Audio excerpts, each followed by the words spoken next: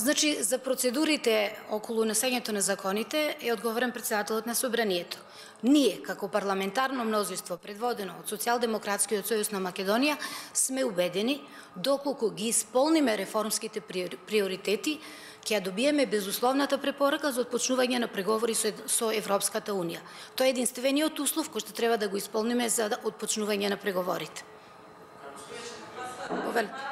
полициска заштита и имате некакво советување од полицијата за тоа како се заштитите? Што се плашите?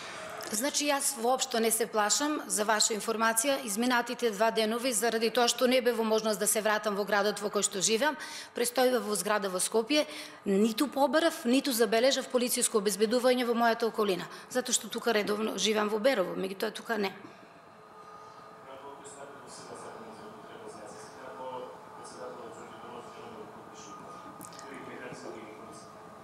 Значи, согласно членот 75 од Уставот на Република Македонија, председателот на државата Ѓорѓе Иванов е должен да го подпише указот за законот за јазиците.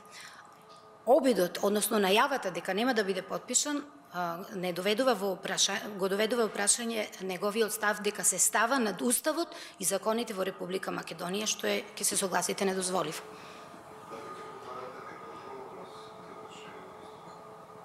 Значи, однапред за постапки кои што треба да се случат во иднина би било несериозно да спекулираме.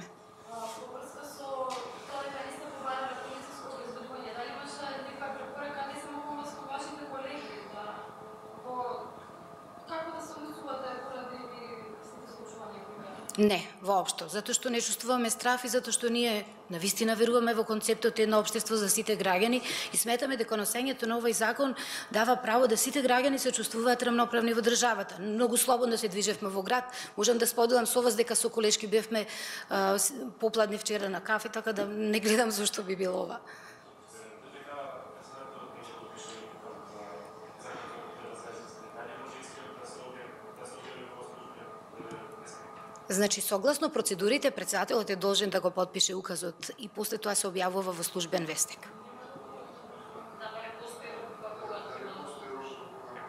Тоа прашање ќе го адресирате кај него. Благодарам.